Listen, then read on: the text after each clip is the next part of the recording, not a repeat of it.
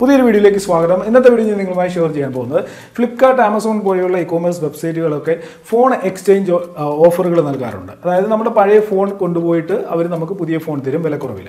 അപ്പം ഈ കൊണ്ടുപോകുന്ന നമ്മുടെ പഴയ ഫോണുകൾ ഈ കമ്പനികൾ എന്താണ് ചെയ്യുന്നത്?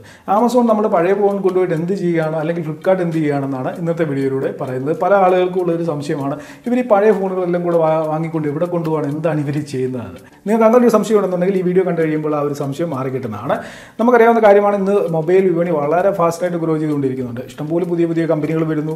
ഇഷ്ടംപോലെ മോഡൽ മോഡലുകൾ മാർക്കറ്റിലേക്ക് വരുന്നു. ഈ ഫോണുകളൊക്കെ വാങ്ങാനും ഇഷ്ടംപോലെ ആളുകളുണ്ട്. അതുകൊണ്ട് മൊബൈൽ വിപണി എപ്പോഴും ആക്റ്റീവാണ്. അപ്പോൾ നമ്മളൊരു പുതിയ ഫോൺ വാങ്ങുമ്പോൾ നമ്മുടെ കയ്യിൽ നേരത്തെ ഉണ്ടായിരുന്നത് പഴയ ഫോണായി. അത് നമ്മൾ ഒന്നുകിൽ എക്സ്ചേഞ്ച് ചെയ്യും. അല്ല എന്നുണ്ടെങ്കിൽ ഓയിൽ എക്സിലോ വല്ല ഇടും. അല്ലെങ്കിൽ നമുക്ക് അറിയാവുന്ന ആർക്കെങ്കിലും അത് വിൽക്കും. അല്ലെങ്കിൽ അടുത്തുള്ള ഏതെങ്കിലും കടയിൽ കൊണ്ട് കൊടുത്ത് അത് വിറ്റ് ഒഴിവാക്കും. അതായത് ഇങ്ങനെ നമ്മുടെ ഇന്ന് കൊണ്ടുപോകുന്ന പഴയ ഫോണുകൾ ഇവർ എന്താണ് ചെയ്യുന്നതെന്ന് ചോദിച്ചു കഴിഞ്ഞാൽ ഇപ്പോൾ നമുക്കറിയാം ക്യാഷിഫൈ വെബ്സൈറ്റിനെ കുറിച്ച് ഒരു വിഷയങ്ങൾ കേട്ടിട്ടുണ്ടായി. ക്യാഷിഫൈയിൽ നമ്മുടെ കയ്യിൽ നിന്ന് ഫോൺ വാങ്ങിയിട്ട് നമ്മൾ നമുക്കതിന്റെ സെക്കൻഡ് ഹാൻഡ് വില തരും. നമ്മുടെ ഫോണിന്റെ മോഡൽ ഏതാണ് നമ്മുടെ ഫോണിന്റെ കണ്ടീഷൻ ഏതാണെന്നൊക്കെ നോക്കിയതിന് ശേഷം അതിനുള്ളൊരു വില നമുക്ക് തരും. എന്നിട്ട് ഈ കമ്പനി ആ ഫോൺ കൊണ്ടു ഇതേപോലെ തന്നെയാണ് ഫ്ലിപ്കാർട്ടും നമ്മുടെ ഫോണിന്റെ മോഡലും അതേപോലെ തന്നെ നമ്മുടെ ഫോണിന്റെ കണ്ടീഷനും അനുസരിച്ച് നമുക്ക് അതിനൊരു പ്രൈസ് തരും. ഈ ക്യാഷിഫൈ പോലെയുള്ള വെബ്സൈറ്റുകളിലൊക്കെ തന്നെ റീഫബ്ലിഷ്ഡ് ഫോൺ എന്ന് പറഞ്ഞുള്ള ഒരു സെഗ്മെന്റ് ഉണ്ട്. അതായത് അത് വിൽക്കാനായിട്ട് വെച്ചേക്കാം റീഫബ്ലിഷ്ഡ് ഫോൺ റീഫബ്ലിഷ്ഡ് ഫോൺ എന്ന് പറഞ്ഞു കഴിഞ്ഞാൽ പഴയ ഫോണുകൾ കൊണ്ടുപോയിട്ട് റിപ്പയർ ചെയ്ത് അതിൽ എന്തെങ്കിലും പ്രശ്നങ്ങളുണ്ടെങ്കിൽ അത് മാറ്റി അതിനെ വർക്കിംഗ് കണ്ടീഷനിലാക്കി പ്രശ്നങ്ങളൊന്നും ഇല്ലാത്ത രീതിയിൽ വിൽക്കുന്നതാണ് റീഫബ്ലിഷ്ഡ് ഫോൺ എന്ന് പറയുന്നത്. ഇതേപോലെ തന്നെ ഫ്ലിപ്കാർട്ടും ടു ഗുഡിലൂടെ റീഫബ്ലിഷ്ഡ് ഫോൺ സെയിൽ ചെയ്യുന്നുണ്ട്. അപ്പം റീഫബ്ലിഷ്ഡ് ഫോണായിട്ട് വരുന്നത് നമ്മൾ ഇതേപോലെ നമ്മുടെ കയ്യിൽ നിന്ന് കൊണ്ടുപോകുന്ന സെക്കൻഡ് ഹാൻഡ് ഫോണുകളൊക്കെ ഇവർ റിപ്പയർ ചെയ്ത് വർക്കിംഗ് കണ്ടീഷനിലുള്ള ഫോണുകൾ മാക്സിമം റിപ്പയർ ചെയ്ത് ഇതേപോലെ റീഫബ്ലിഷ്ഡ് ആയിട്ട് വിലക്കുറവിൽ വിൽക്കുകയാണ് ചെയ്യുന്നത്. ക്യാഷിഫൈ പോലെയുള്ള ഒരുപാട് വെബ്സൈറ്റുകൾ ഇതേപോലെ ഫോൺ സെക്കൻഡ് ഹാൻഡ് ഫോൺ വാങ്ങുകയും പൈസ കൊടുക്കുകയും ചെയ്യുന്നുണ്ട്. ക്യാഷിഫൈയുടെ സിഇഒ ഒരു ദിവസം ഒരു ഇന്റർവ്യൂവിൽ പറഞ്ഞത് അതായത് ഇവർ കൊണ്ടുപോകുന്ന സെക്കൻഡ് ആയിട്ട് കൊണ്ടുപോകുന്ന ഫോണുകളൊക്കെ ബൾക്കായിട്ട് എടുക്കാനായിട്ട് ഒരുപാട് സ്റ്റാർട്ടപ്പ് കമ്പനികളുണ്ടെന്നാണ് പറയുന്നത്.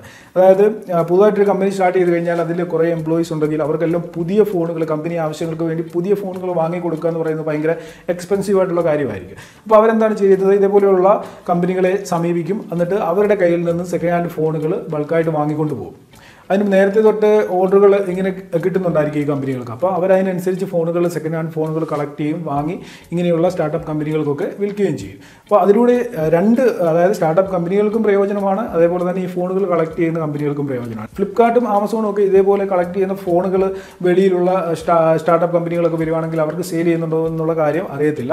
ഇ കോമേഴ്സ് വെബ്സൈറ്റിലൊക്കെ ഇതേപോലുള്ള എക്സ്ചേഞ്ച് ഓഫർ വരുമ്പോൾ മൊബൈൽ ബ്രാൻഡുമായിട്ട് ഈ ഇ കോമേഴ്സ് വെബ്സൈറ്റിനൊരു ഒരു എഗ്രിമെന്റ് ഉണ്ടായിരിക്കും. അതായത് ഇതേപോലെ വരുന്ന ഫോണുകൾ മാക്സിമം ഇവർ റീഫബ്രിഷ്ഡ് ആക്കും.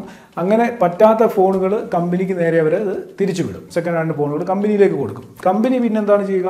മാക്സിമം ഇതിന്റെ അകത്തിൽ നിന്ന് എടുക്കാൻ പറ്റുന്ന ഭാഗങ്ങളൊക്കെ അതായത് വർക്കിംഗ് ആയിട്ടുള്ള കണ്ടീഷനുള്ള ഭാഗങ്ങളൊക്കെ ഇവർ അഴിച്ചെടുത്തിട്ട് മറ്റു ഫോണുകളിൽ അത് കൂട്ടിച്ചേർക്കും. അതിനുശേഷം ഒന്നും പറ്റാത്ത സാഹചര്യത്തിൽ ഇതിന്റെ പ്ലാസ്റ്റിക്കും ഗ്ലാസും ഇതൊക്കെ സെപ്പറേറ്റ് ആക്കിയിട്ട് റീസൈക്കിൾ ചെയ്യും. റീസൈക്കിൾ ചെയ്തിട്ട് വീണ്ടും പുതിയ ഫോണായിട്ട് പുതിയ ഫോൺ ഉണ്ടാക്കുന്ന മാനുഫാക്ചറിങ്ങിലേക്ക് ഈ കാര്യങ്ങളൊക്കെ പോവുകയും ചെയ്യും. അപ്പോൾ രീതിയിൽ നമ്മുടെ നിന്ന് വാങ്ങിക്കൊണ്ട് പോകുന്ന ഫോണുകൾ ഉപയോഗിച്ച് ഇവർ മാക്സിമം ബെനിഫിറ്റ്സ് ഉണ്ടാക്കാൻ ശ്രമിക്കും. പറ്റാത്ത സാഹചര്യത്തിൽ അവർ അവരത് റീസൈക്കിൾ ചെയ്ത് വിടുകയാണ് ചെയ്യുന്നത്. ഇപ്പോൾ നമ്മൾ കടയിൽ കൊണ്ടൊരു ഫോൺ വിറ്റ് കഴിഞ്ഞാലും ആ കടക്കാരൻ ചെയ്യുന്നത് എന്താണ്? അതിനെ റിപ്പയർ ചെയ്ത് എങ്ങനെയെങ്കിലും മറിച്ച് വിൽക്കാൻ പറ്റുമോ എന്ന് നോക്കും. മറിച്ച് വയ്ക്കാൻ പറ്റാത്ത സാഹചര്യത്തിൽ അതിന്റെ അതിലുള്ള എന്തെങ്കിലും സംഭവങ്ങളൊക്കെ എടുക്കാൻ പറ്റുമെങ്കിൽ അത് എടുത്തത് മറ്റു ഫോണുകളിൽ ഫിറ്റ് ചെയ്ത് വെക്കാനായിട്ട് ശ്രമിക്കും. അതും പറ്റാത്ത ഒരു സാഹചര്യത്തിൽ ഒന്നും പറ്റാത്ത സാഹചര്യത്തിൽ ആ ഫോണിനെ അവർ റീസൈക്കിൾ കമ്പനികൾക്ക് കൈമാറും. അവരത് കൊണ്ടുപോയിട്ട് റീസൈക്കിൾ ചെയ്ത് പുതിയ ഫോണുകളുടെ ആവശ്യത്തിന് വേണ്ടി ഉപയോഗിക്കും. അപ്പോൾ ഈ രീതിയിലാണ് നമ്മുടെ നിന്ന് കൊണ്ടുപോകുന്ന പഴയ ഫോണുകൾ ഇവർ ഉപയോഗിക്കുന്നത്. മാക്സിമം ഇതിൽ നിന്ന് ഇവർ പൈസ ഉണ്ടാക്കിയെടുക്കുന്നുമുണ്ട്.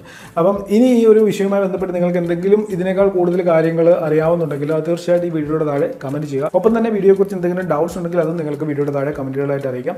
നമ്മുടെ ചാനൽ സബ്സ്ക്രൈബ് ചെയ്യാത്ത ആരെങ്കിലും വീഡിയോ കാണുന്നുണ്ടെങ്കിൽ മറക്കാതെ ചാനൽ സബ്സ്ക്രൈബ് ചെയ്യുകയും ഈ വീഡിയോ നിങ്ങളുടെ സുഹൃത്തുക്കൾക്ക് വേണ്ടി ഷെയർ ചെയ്യുകയും ചെയ്യണം. അതിനോടൊപ്പം തന്നെ നമ്മുടെ വീഡിയോ ലൈക്കോടെ കൂടെ ചെയ്തേക്കാം ഇതിലും നല്ലൊരു അറിവുമായി ഇനി നമുക്ക് അടുത്ത വീഡിയോയിൽ കാണാം.